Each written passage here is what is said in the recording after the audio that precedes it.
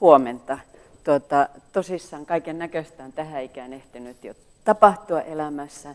Sen lisäksi, mitä Hannu mainitsi, mitä tässä on viimeksi tehty, niin koko tämä mun puheenvuoroni kohdistuu, se on itsekritiikkiä omalle työlle. Mä 30 vuotta olin kirjoittamassa myöskin koulutuspolitiikkaa, joka sitten oli myöskin valtion budjetin sivuilla tietyissä luvuissa melkoisen koskemattoman aika harvoin näihin lukuihin edes pilkkua muutettiin.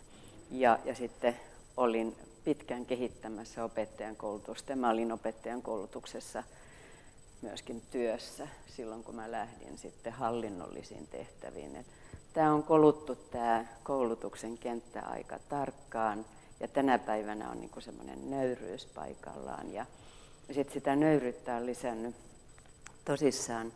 Mä hyppäsin pikkusen etuajassa työstä pois, siirryin eläkkeelle, jotta sain tehdä niitä asioita, joita halusin tehdä. Mulla oli semmoinen ihana elämäntilanne, että mä pystyin näin ratkaisemaan ja olin Puunen yliopistossa Mumpaista 100 kilometriä koilliseen opettamassa johtamista ja, ja tuota, palkkarahat annettiin niille opiskelijoille, joille ei ollut opiskelu, lukukausimaksuihin rahaa. Ja sitten tällä hetkellä mä seuraan hyvin läheltä englantilaista koulujärjestelmää omien lastenlasteni kautta. Ja mulle aina vaan tulee entistä enemmän kysymysmerkkejä siihen, että miksi olemme tehneet näin, mutta siihen löytyy kaikki selitykset. Eli, eli tuota, täysin itsekriittinen puheenvuoro, tarkoitettu miet, niin kuin enemmänkin miettimisen kohteeksi, että miksi teemme niitä ratkaisuja, joita teemme, voisimmeko tehdä toisia ratkaisuja. Ja mä tarkastelen tätä asiaa.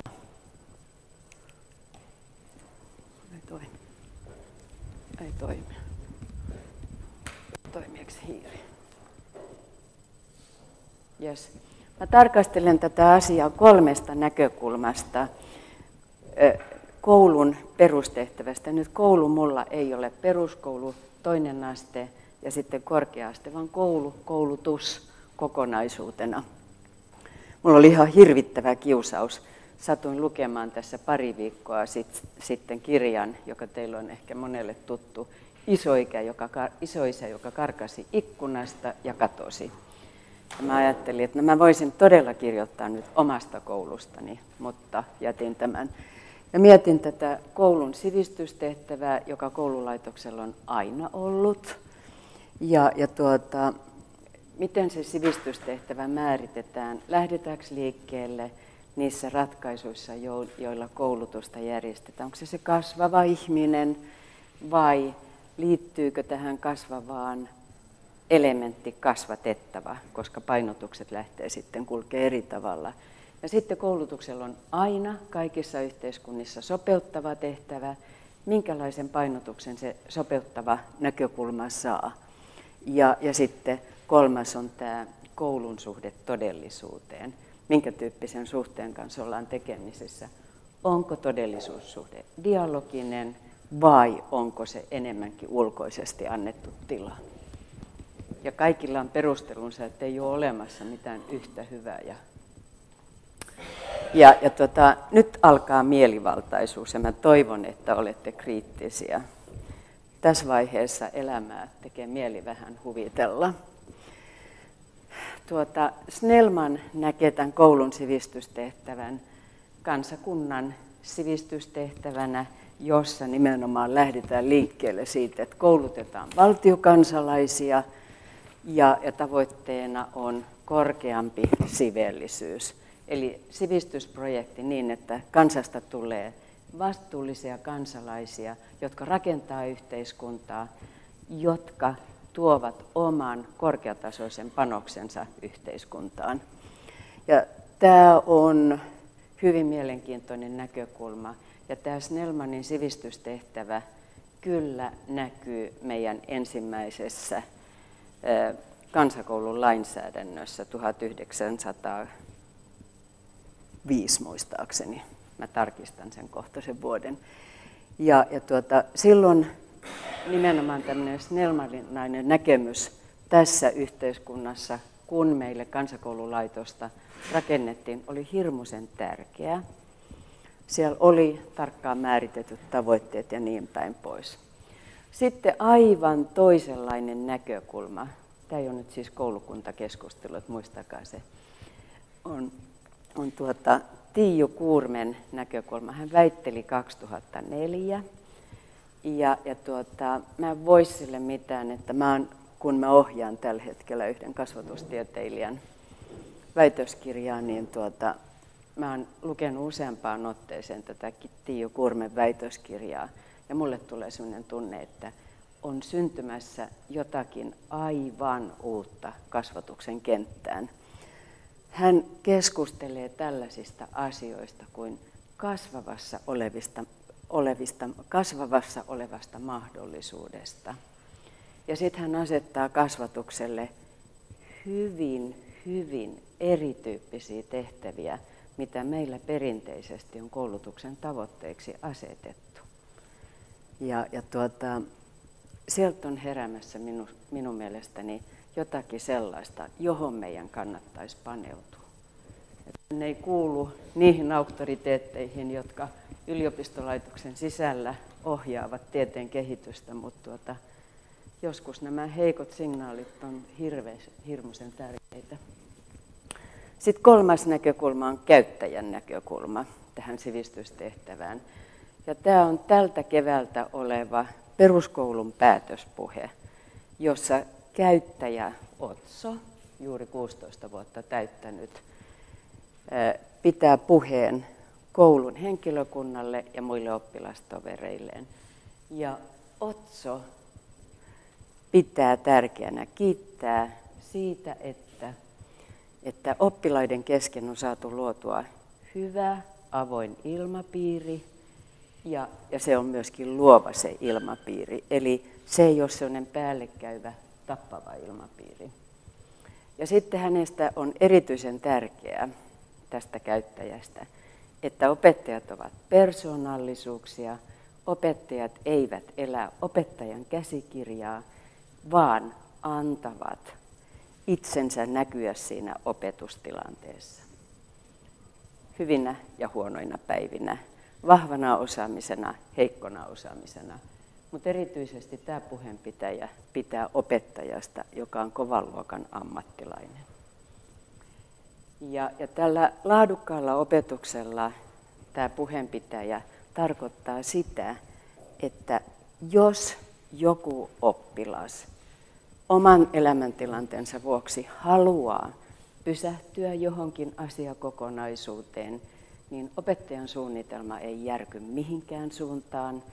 Opettaja kestää sen, että joku pysähtyy, harjoittelee jotakin asiaa vähän pidempään. Ja sitten toisaalta taas joku lentää johonkin suuntaan kovalla tahdilla. Ja näissä lennoissa sitten tämä sankari itse piti arvokkaana sitä, että hän saa opiskella syvennettyä englantia, koska hän haluaa, että hänen englannin kielensä on luontevaa. Ja hänellä on tietty motiivi siihen. Tuosta puheesta näkyy sitten eteenpäin se vielä. Sitten 16-vuotias nuori mies pitää tärkeänä sitä, että tilat ovat viihtyisiä ja tiloissa on oman aikansa aistikasta tyyliä. Eli koulurakennuksesta ja fyysisistä tiloista on tunnistettavissa, että missä ajassa tämä rakennus on tehty. Joka on minusta aika niin kuin yllättävä veto tähän tilanteeseen. Tämä puheenpitäjä ei näyttänyt kenellekään puhetta, kun hän sen teki ja kirjoitti. Piti vaan. Eli tässä ei ole aikuisen ihmisen ohjausta. Ja sitten hän näkee, että on tärkeää koulutuksen aikana myöskin suuntautua sinne tulevaisuuteen, ettei yksittäiset oppiaineet, yksittäinen opetustilanne ole tässä ja nyt johonkin tiettyyn oppiaineeseen, tiettyyn pieneen tavoitteeseen sitoutuvaa, vaan että koko ajan siinä opetuksessa on läsnä tulevaisuus. Mihin minä tätä käytän? Miten voin tätä vielä parantaa ja niin päin pois. Ja tälle nuorelle miehelle tämä hänen tulevaisuutensa on on se, että tulisi upporikkaaksi. No, se on yksi tavoite ihmiselle ja sillä siistiä. Ja sitten hän sanoo ihan vakavasti, että ilman koulutustakin voi tulla upporikkaaksi, mutta kovin todennäköistä se ei ole. Ja sen jälkeen hän jatkaa koulutovereilleen, että koulutus antaa selkänojan, opiskelkaa, valitkaa joko ammatillinen koulutus tai lukiokoulutus, mutta opiskelkaa. Ja sitten, jos teille tulee rahaa, niin älkää pitäkö sitä rahaa piirongin laatikossa, vaan sijoittakaa se. Ja sillä hän tarkoittaa, hän tarkoittaa käytännössä myöskin sijoittamista, mutta hän tarkoittaa sitä, että harjoitelkaa, harjoitelkaa taitoja, joita kuvittelette tarvitsevanne elämässä. Tässä on nyt kolme erilaista näkökulmaa. Ja, ja tuota, mä olen vähän sitä mieltä, että me unohdetaan liian usein tämä käyttäjän näkökulma tässä sivistystehtävässä. Ja nyt Snellman, Kuurme ja Otso, niin henkilökohtaisesti koulun sivistystehtävä, mä ajattelen, että se voitaisiin jotenkin rakentaa näin. Missään näissä ei ole mitään poissulkevaa, ainutlaatuista, mutta mulle tavoitteena koulutuksessa voisi esimerkiksi olla, että me kasvatetaan valtiokansalaisia ja sellaisia kansalaisia, jotka kantavat vastuuta yhteisöstä ja myöskin sen yhteisön kehittymisestä. Ja, ja sitten tuota, elämän uudistaminen on kuurmella sellainen hirveän tärkeä, arvokas asia. Ja minusta kannattaisi uskaltaa miettiä sitä, että kuinka pääsemme käsittelemään opetuksessa sellaisia asioita, jotka johtavat nuorten itsensä haluun uudistaa elämää monella tavalla. Ja sitten Otsoherralta mä ottaisin tämän, että meidän pitäisi uskaltaa panostaa esteettiseen, avoimeen ja luovaan ympäristöön. Ja sallia se, että ihmiset kulkee erilaisia tahteja. Ja siihen on olemassa aina erilainen syy. Et toi olisi mulle se sivistystehtävä, eli se perustavoite. Sitten kuinka se tehdään? Näinkö, että meillä on opetussuunnitelma, käsikirja, joka on rajattu, ja sitten marssitaan sen mukaisesti eteenpäin? Vai onko meillä sitten olemassa muita ratkaisuja?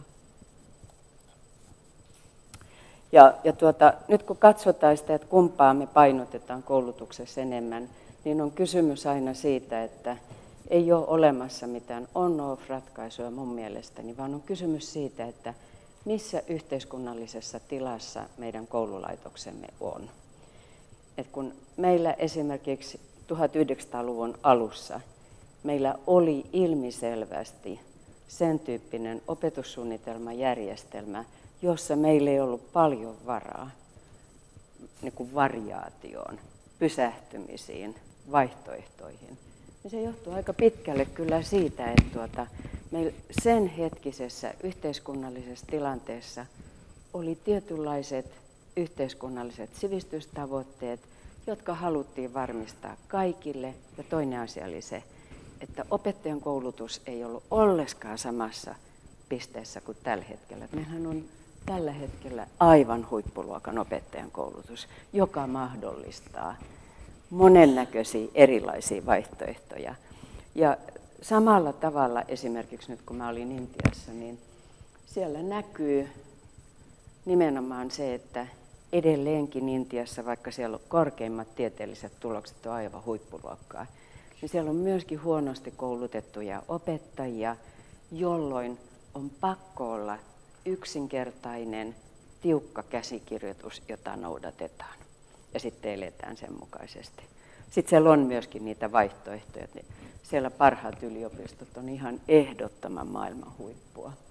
Mutta silloin kun on tilanne, jossa opettajien koulutus on vaatimaton, niin silloin on syytä olla jämptit kirjoitukset. Ja meillä tätä aikaa toista sataa vuotta sitten edusti esimerkiksi kansakoulun opetussuunnitelma. Kannattaisi joskus katsoa niitä asiakirjoja, minkälaisia opetussuunnitelmia meillä oli. Ja sitten kun me itsenäistyimme, koulutus kehittyi, opettajakoulutus kehittyi seminaareissa ihan hirmuisen nopeasti, valtavan hienoksi, niin tuota, sitten meille tullaan toiseen aikaan, josta mä hetken kuluttua puhun. Ja tällä hetkellähän meillä on haasteellista se, että meidän yhteiskunnassa koulutus on aika paljon valitettavasti poliittisten intohimojen kohteena.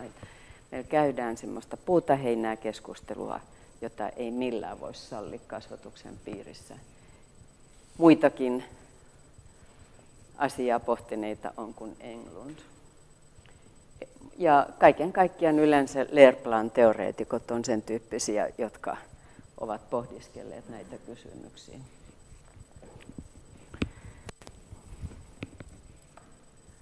Sitten niin kuin kasvatus vapauttavana, yksilöä vapauttavana tehtävänä. Nyt tämäkin on mielivaltainen poiminta. Tässä olisi voinut ottaa loogisesti ihan semmoisen systemaattisen rakenteen, mutta halusin lähteä liikkeelle. Varmaan Fröben on yksi näitä. Itse asiassa mun pitäisi kyllä nostaa Sokrates esiin, kun hän lähti miettimään, että, että voiko oppimattomalta ihmiseltä pyytää ratkaisua kysymykseen, että jos tunnetaan neljän pinta-ala, niin mitkä ovat neljän sivut. Ja Sokrates oli sitä mieltä, että kyllä voi, tämmöisen tehtävän voi asettaa ja sitä kautta ihminen oppia ajattelemaan. Et ollakseni rehellinen, niin pitäisi mennä pitkälle pitkälle taakse. Mutta jos lähdetään tähän opetuksen maailmaan, niin Fröbelin ajatukset varmaan oli sen tyyppisiä, jotka veivät tähän vapauttavaan ajattelu. Mutta siellä oli myöskin samalla sitten hänen siinä metodissaan sisällä on myöskin sitä osaamista tava, tasaavia tavoitteita, jos oikein sitä piukasti analysoida, että se ei ole ihan puhdasta. Dewey edustaa tämmöistä vapauttavaa kasvatuksen suuntaa, käsillä tekemisen, kokemisen suuntaa. Ja sitten semmoinen suomalainen aivan huikea kukkanen on tämä maalaiskansakoulun opetussuunnitelma, jossa oikeasti lähdettiin miettimään sitä, että miten tämä kasvatuksen vapauttava tehtävä voidaan hoitaa. Ja siellä oli aika paljon sitä tekemistä, luonnon äärellä olemista, puutarhan hoitoa.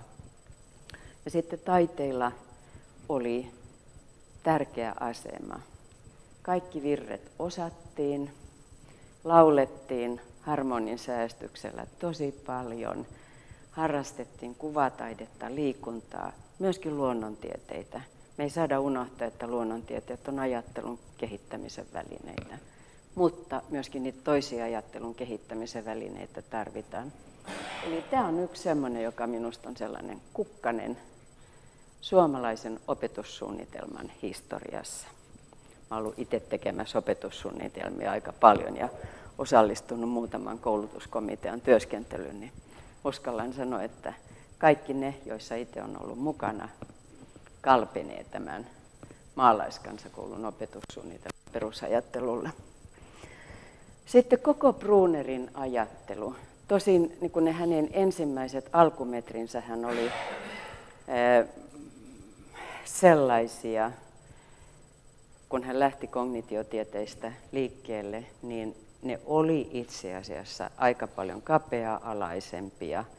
Ja hän sitten itse kritisoi myöhemmän kehityksensä vaiheessa omaa alkuvaiheen tuotantoaan, niin kuin aina kuuluukin käydä näin, että kun katsoo etäältä omaa ajatteluaan, niin vai näin käy, että sitten rupeaa ymmärtämään, että ymmärsin vähemmän ja rajallisemmin kunnes sitten jossakin vaiheessa alkaa tulla tämä syvällisempi ymmärrys. Ja Brunerillahan tämä spiraalimainen ajattelu, astettain syvenevä ajattelu, vuorovaikutuksessa syvenevä ajattelu on niitä tärkeitä asioita, joita mä haluaisin, että siirtyy sinne vuoden 2030 opetussuunnitelmiin kaikin, kaikissa tutkinnon tasoissa jollakin tavalla.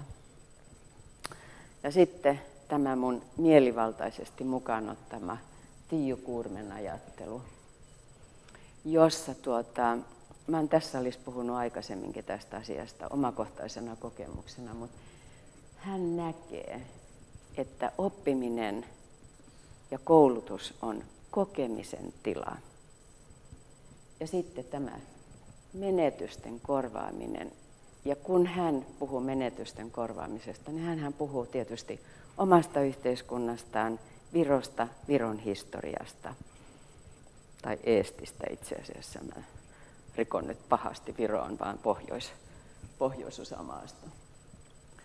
Eli meillä on niin yksilöinä, kansakuntana aina haavoja, joita me on saatu kasvuvaiheessa.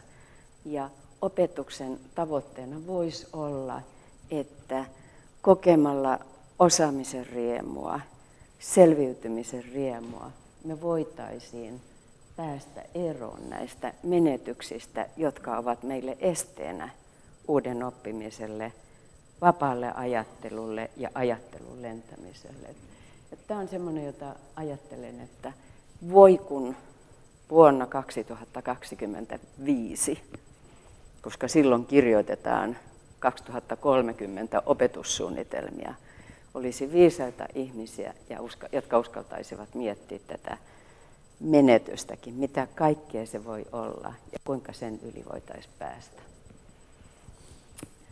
Ja, ja sitten tuota, tämä uusien merkitysten luonti on myöskin hänellä se tärkeä tavoite.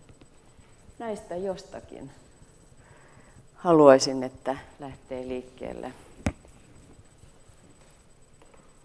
Eli, eli mä ajattelen, että koulu 2030 voisi olla sellainen koulu. Tässä kuvassa on kaksi viestiä. Ja ensinnäkin se, että saa avoimella sylillä ottaa oppeja vastaan. Nämä kädet on niin levällään, että muuten voi tulla oikeasti huti myöskin. Se ei tarkoita sitä, että kaikki osuu tähän minun syliini. Voi olla näin, että pallo putoaa maahan. Ja sitten toinen asia tässä on se, että se, mikä tämän päivän opiskelussa usein opettajat on huolissaan siitä, että kaikki ei ole yhtä aikaa ajattelemassa niin kuin sillä tavalla, että näyttää aktiiviselta, kasvot mukana, nyökyttelyä ja mitä se kaikki elehtiminen onkaan. Ja sitten alkaa opettajien huolestuminen, että mitä tapahtuu tuossa päässä, joka ei nyt nyökkäile. Eli on ihan ok, että minä tässä nyt katson, koska saatan olla oppimistyyliltäni sellainen, joka opinkin tarkkailemalla enemmän. Tai on ok, että minä tässä nyt olen vapaamatkustaja. Mutta seuraavassa vaiheessa otan jonkun aktiivisen roolin.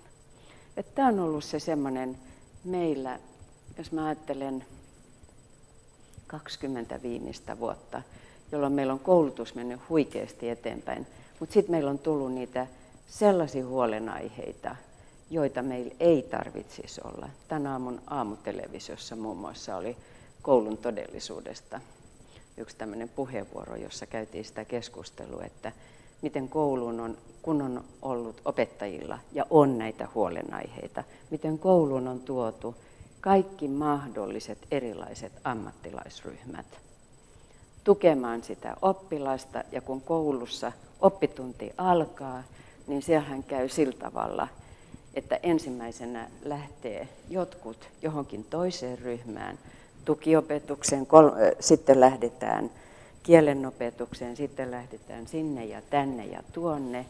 Ja varsinaisesti niin kuin siihen opettamiselle, oppimiselle jää ihan hirveän vähän aikaa. Jyväskylän yliopistossa joku kymmenisen vuotta sitten tehtiin tutkimusta tästä koulun käytäntöjen organisoinnista, miten se vie paljon aikaa. Niin kyllä meidän pitäisi uskaltaa hyväksyä se, että siellä on välillä istujia, mutta ovat mukana. Ei lähetetä ketään mihinkään suuntaan. Että meidän ratkaisu, jossa on lähdetty liikkeelle siitä, että on erityisopetusta, on tukiopetusta ja näennäisesti samassa ryhmässä, niin mä kritisoin sitä tänä päivänä. Olin itse tuomassa meille Helsinkiin nyt tässä viimeisessä vaiheessa lukioihin psykologia, psykologia ja opinto ja kaikkea muuta. Mutta tällä hetkellä mä ajattelen, että olisi ollut parempi, että keskitytään siihen oppimiseen ja, ja tuodaan kaikki se lisäresurssi, johon meillä on yhteiskunnassa milloinkin varaa, niin tuodaan se siihen opetustilanteeseen jollakin toisella tavalla.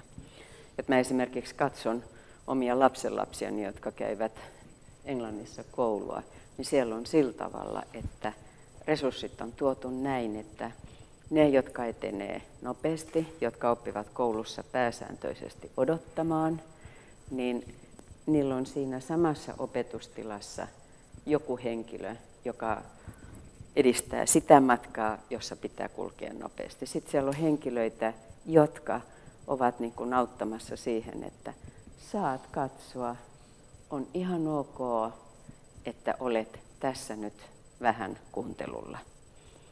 Eli, eli ne pitäisi tuoda luokkahuoneeseen ne resurssit, eikä erillisiin tiloihin, joihin ihmisiä lähetetään. Mutta se vaatii hirveätä ammattitaitoa, mutta sitähän meillä on. Meidän opettajat on, on todella hyviä, Et kun se vaan mietitään se käytäntö, missä me mennään. Sitten tämä todellisuussuhde. Minkälaiseen todellisuuteen koulutuksen tavoitteita asetetaan?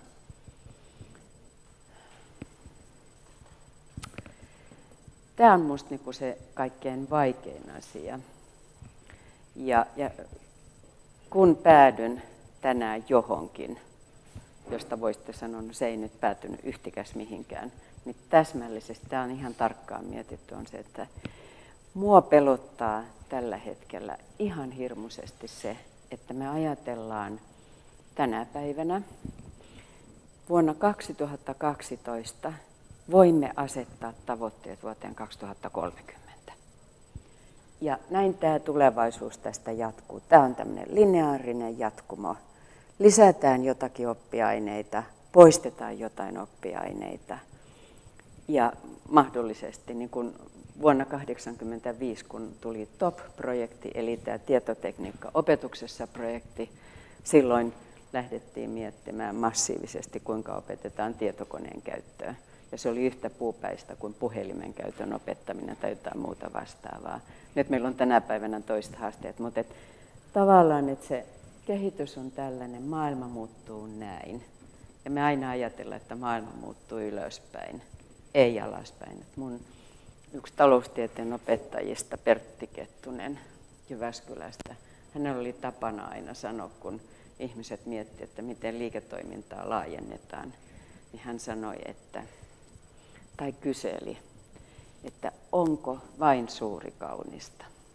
Ja meidän pitäisi nähdä niin kuin siinä alaspäin kulkevassa virrassa tai jossakin toisessa virrassa myöskin arvokasta ja tavoittelemisen kokemista, koska sitä kautta voi tulla erilainen ymmärrys tähän maailmaan. Ja, ja sitten tuota, se, mikä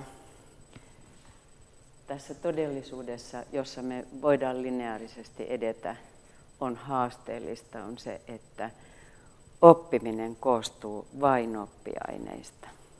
Ja jokainen teistä, joka on ollut tekemisissä kasvatuksen kanssa tai on kasvatuksen kanssa tekemisissä, niin näinhän tämä maailma ei valitettavasti mene.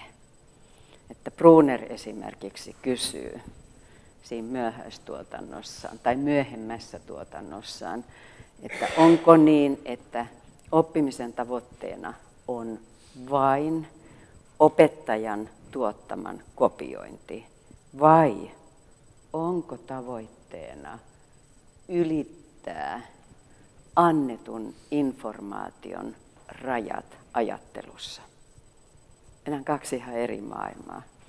Onko tavoitteena ylittää ajattelussa annetun informaation rajat? Sitä sietää miettiä.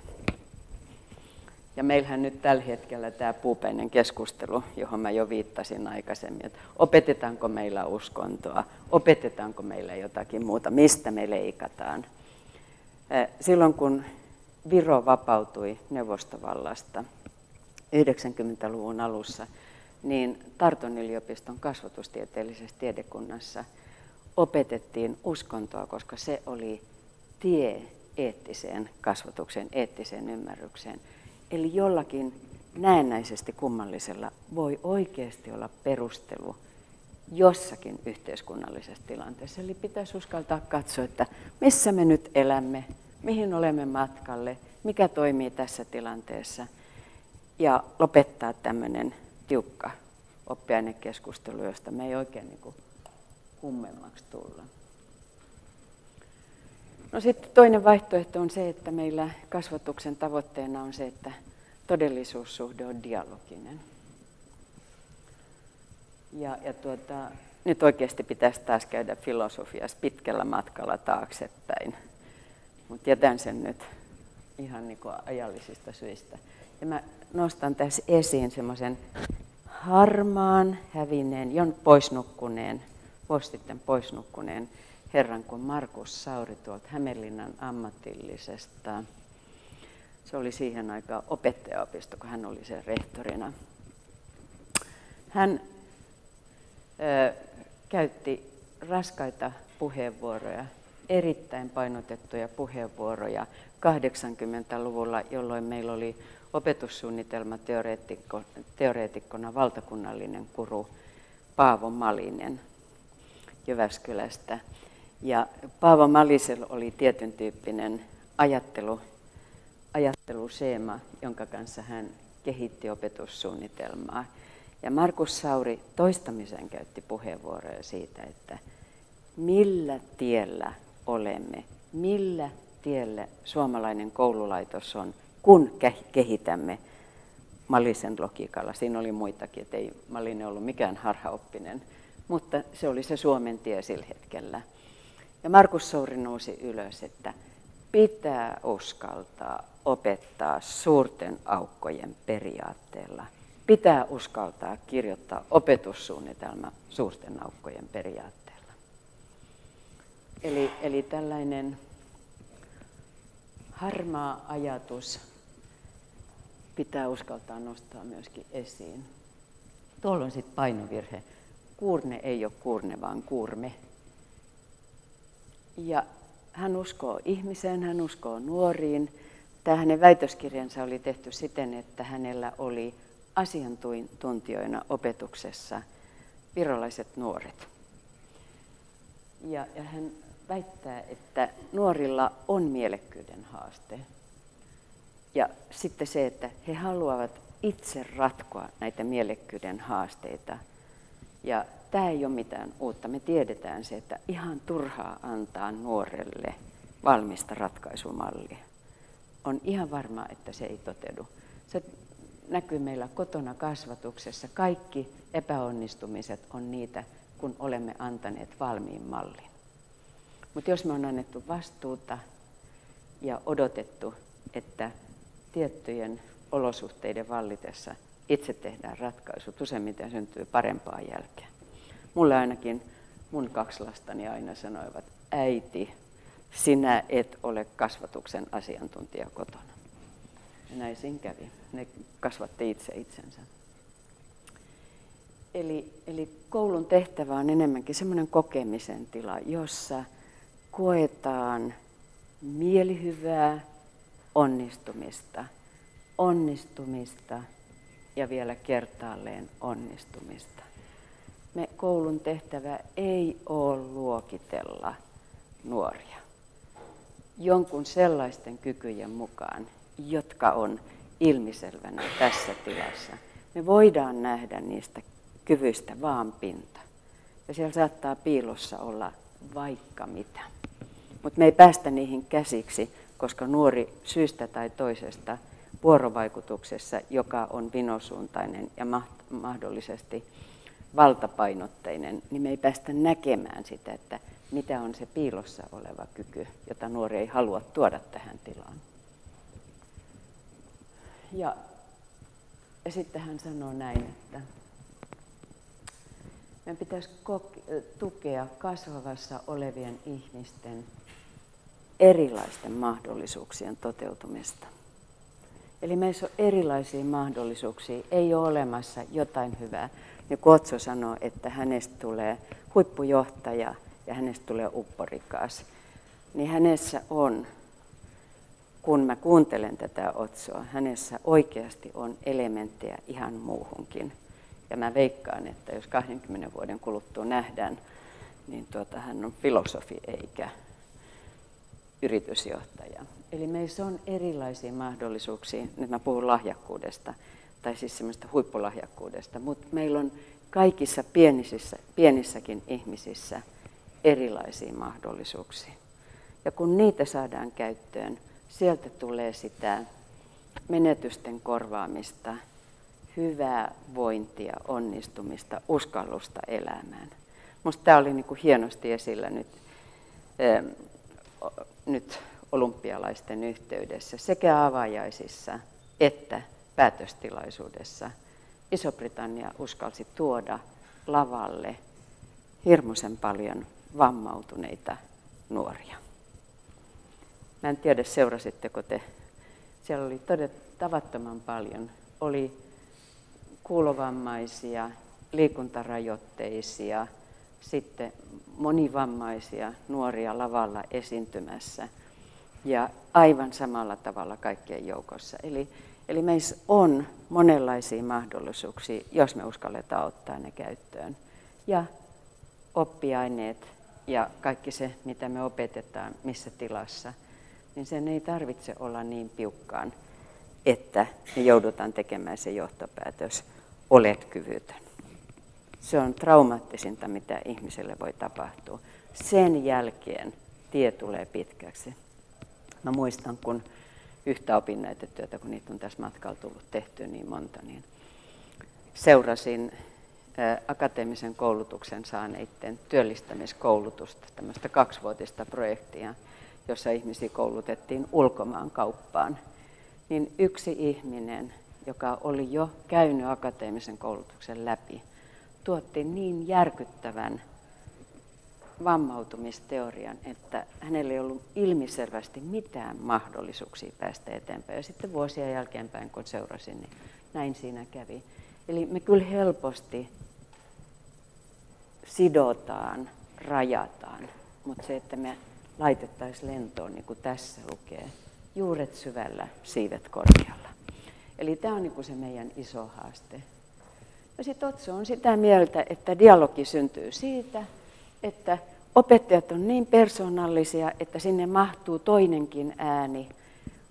Vahvasti elävät, kovalla ammattitaidolla, tietävät, että asiat, yhtälöt voidaan ratkaista toisellakin tavalla, voidaan veistää myöskin toisella tavalla ja saada aikaiseksi hyvää tulosta.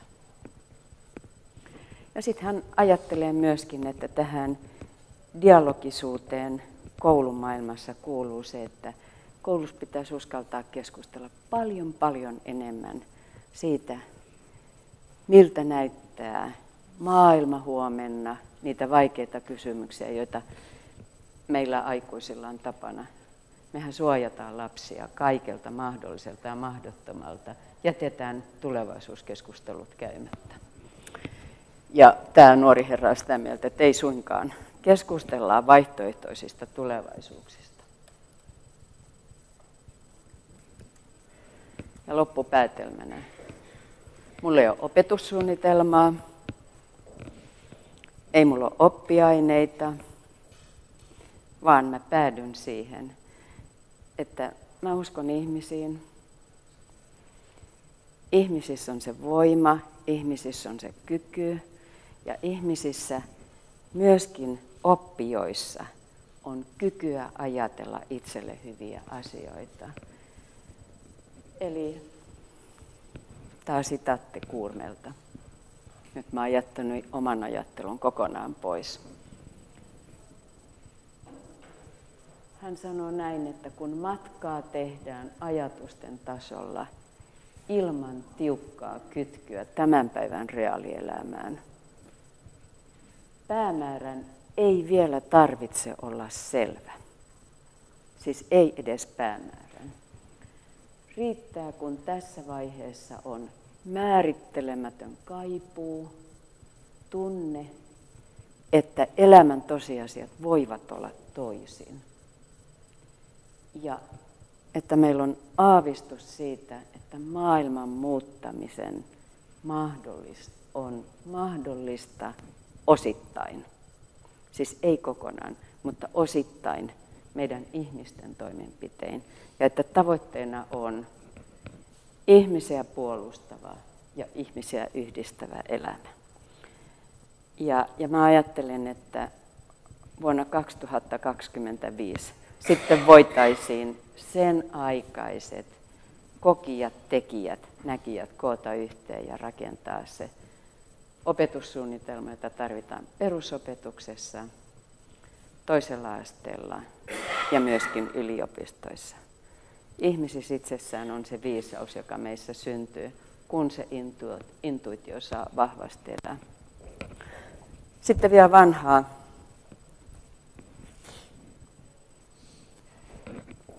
Syy, miksi mulla ei ole vuodelle 2030 koulua olemassa ja omana tekosenani, on se, että skenaarioajattelun ongelmana, täällä puhutaan näiden päivien aikana skenaarioajattelusta, mutta skenaarioajattelun ongelmana on se, että kun nämä skenaariotyöskentelyt, ne tuotetaan jollekin areenalle, jossa tehdään koulutuspoliittisia päätöksiä, konkreettisia opetussuunnitelmia, ratkaisuja opettajan koulutuksista, niin niistä aika usein puuttuu ne perustelut, miksi on päädytty tähän valintaan, mikä on tietyn valinnan hyvä puoli, mikä on tietyn valinnan huono puoli ja kuinka käy nimimerkki 30 vuotta koulutuspolitiikassa eläneenä. Kuinka teimme vuonna 1989 koulutuskomitean sen aikaisen mietinnön tulevaisuuden koulusta, niin me raavittiin kiireessä. Ensin ratkoimme kymmenen kysymystä Iltalehdestä vai Iltasanomasta, en enää muista, kumpi se lehti oli. Ja sitten kun tuli kiire, piti tuottaa valmis tulos, koulutuksen kohdentaminen koko yhteiskuntaan, niin sitten me raavittiin kaikkea, mitä oli valmiiksi kirjoitettuna ja niputettiin. Ja saimme tulokseksi aika epäloogisen jutun. Ja näin me ihmiset toimitaan. Me toimitaan kiireessä. Eli pitäisi olla vaivalloinen perusteluosa ja, ja sitten se varsinainen tulema niin jättää sitten ihmisten tehtäväksi se pitäisi liittää aina skenaariotyöskentelyyn, eikä koulutuspolitiikoille saisi ikinä antaa valmi, niin kutsuttua valmista tehtävää, koska siitä on heikkoja seurauksia. Ja sitten toinen asia on se, että lineaarilogikkaan ja vähittäisiin korjaamisiin, juustohöylään lisävänä ja vähentävänä tekijänä en kyllä usko. Mä uskon siihen, että, että elämä on murtoviivaa koulutus on murtoviivaa.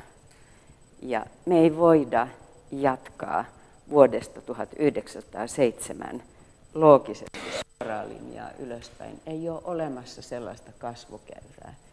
Meillä on laskuvaiheita, nousuvaiheita ja niistä täytyy tehdä siihen yhteiskuntaan soveltuvia ratkaisuja ja sitten uskaltaa reilusti muuttaa, kun tulee sen aika. Kiitoksia.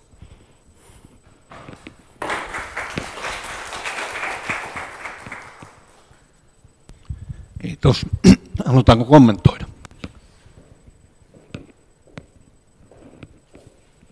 Tämä oli vähän paasaava puheenvuoro näin aamutuimaan. Se oli ihan hyvä saarna näin aamualkuun. Liittyy myöskin näihin tuleviin puheenaiheisiin. Mulle jäi tuossa muutama asia niin siementy hyvinkin. Yksi niistä viime viikkoisia, jossa Pasi Saalperi Sydenius instituutissa Kokkolassa esitti ajatuksen, että saa oikeastaan uskomuksen, että hän ei enää usko opetussuunnitelmiin. Se on jonkin verran yllättävää, koska hän on henkilö, joka on nyt eniten tuolla maailmalla kiertänyt julistamassa sitä suomalaisen koulun ihanuutta, ja joka, joka keskeisesti perustuu opetussuunnitelmiin Joo. ja siihen, millä tavalla niitä tehdään. Miten moni teistä on itse ollut tekemässä opetussuunnitelmia? Joo. Ja se on ihan hirveätä. Siis mä oon oikeasti ollut ihan valtavan monta opetussuunnitelmaa tekemässä. Tuomassa uu, kaksi uutta tutkintoa yliopistolaitokseen.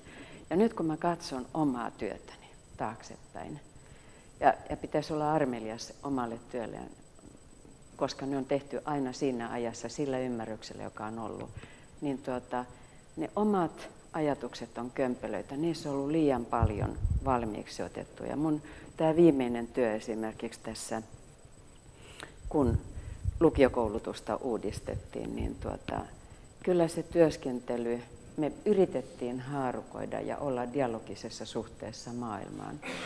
Mutta miten meille sitten kävi näin, että se keskustelu jäi vellomaan ja sitten kun tuli niin kun yhteen kiinnittämisen aika, niin sitten sinne tuli, otettiin liikaa sitä vanhaa. Ja mä ihan huvikseni katsoin nyt tässä tätä mun ohjaustyötäni varten sitä, että mitä nämä merkittävimmät suomalaiset opetussuunnitelmateoreetikot, mutta myöskin useat kansa, kansainväliset, on oikeasti arvioineet omasta työstäni.